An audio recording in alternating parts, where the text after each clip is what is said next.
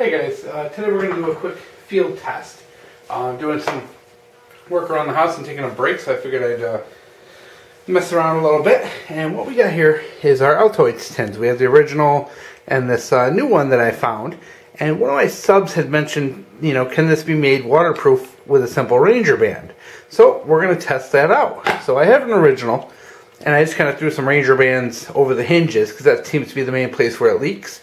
And uh, plus, putting this whole thing in a Ranger band, it's kind of tough. It actually takes a couple minutes to do, so I was looking for something field expedient that you could do really quick, so I didn't want to cover it, so I just covered the hinges on this one. And this one here, I just took a larger piece and covered the end because the hinge on this is on the side. So we're going to see if this works. You know, it's quick, it's simple. You can throw these Ranger bands on in like two seconds. Now, my media to test is just some simple toilet paper. We all know toilet paper, even a drop of water hits it, you're going to know. So we're going to test as if this were in your backpack and you're walking along and you got some uh, water sensitive gear in here. And we're going to imagine that you take a fall in the drink and see what uh, happens. So good sign so far. No bubbles. We're going to leave this in for, Know. Okay, you fell in the water. Oh my god, how did that happen? Saw a few bubbles. Might be leaking. Um, yeah, I bet your water's getting in. Um, so you gotta figure in the water, okay, you're getting out, you're climbing out. La da da da da, you're heading to the shore. Oh my god, I can't believe I fell in the river. Oh, what always happens every time you get to the shore, oh, I fell back in. So we're gonna give this a little shake around. Just to be fair. A few little smacks just to see, because obviously you're gonna be walking along. And we're going to set that here on the table to drip dry a little bit.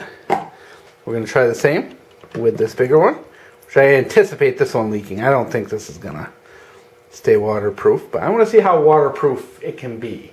You know, the toilet paper will give us a good idea as to how much water actually is leaking in. So we're going to flip this one around, tip it on its edges a little. You're splashing around the water. Oh my god. Can't believe I did this. It's wet, it's cold, it's miserable.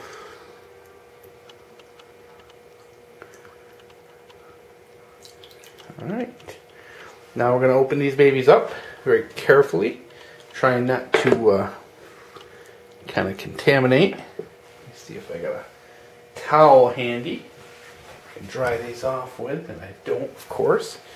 But try and get some of the water off so we don't leak it in as we take it out. You know, consider this had some life-saving match in it, so we're going to want to take all the precautions we would in the woods not to destroy that match, so that seems pretty dried off. So we'll start with the big one first, the one I anticipate will at least leak a little.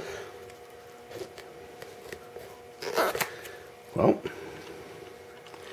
you look inside the powder from the tube is actually not really wet, so actually I got a little, uh, let's see if I can wipe that off again. There was definitely moisture under the Ranger band, so. And our toilet paper is pretty much soaked.